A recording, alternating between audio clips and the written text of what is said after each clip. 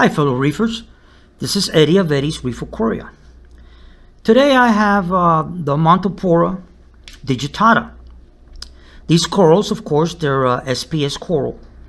They come from uh, the Fiji Island area and the Solomon Islands. Although this coral, I got it as uh, aquaculture. But that's the area that originally uh, they do come from. They come in different colors. This one happens to be red. They come in red, pink. They come in, in purple. And this, uh, the Montipora digitata are of the branching type, not the encrusting type.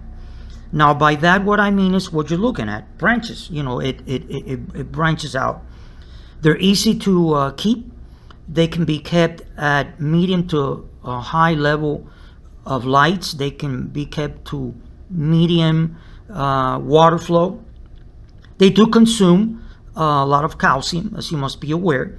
So your calcium, alkalinity, and magnesium also should be in, in check. Definitely, so this coral can thrive on your reef aquarium and uh, grow. And this is basically what I wanted to talk to all of you fellow reefers out there about this coral. I do want to thank you very much for watching this short, simple video of this coral. If you found it enjoyable, educational, you liked it, well, don't hesitate to hit the like button or subscribe to my channel. And like I always say, thank you very much and happy reefing. Thank you and bye-bye.